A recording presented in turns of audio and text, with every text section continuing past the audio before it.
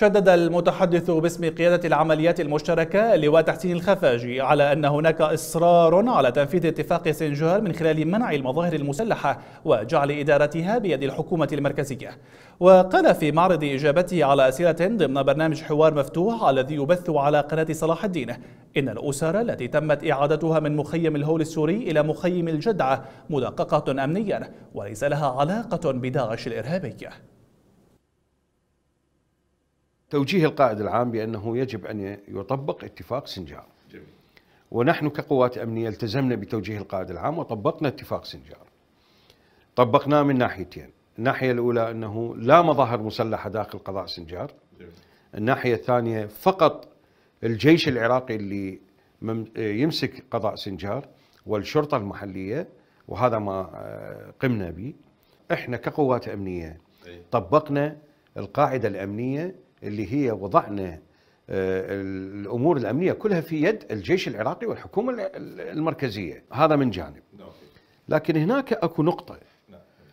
هناك آه، تلكؤ في بعض الوزارات مثلا الخدمات والحقيقة آه، الكهرباء الماء الدوائر الخدمية الأخرى التابعة.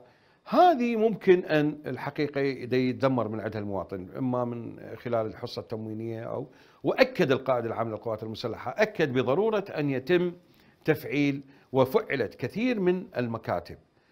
أه، قضاء سنجار يجب أن ينجح الاتفاق ولا رجعه في هذا الموضوع. بعض المناطق حدثت بها معارك.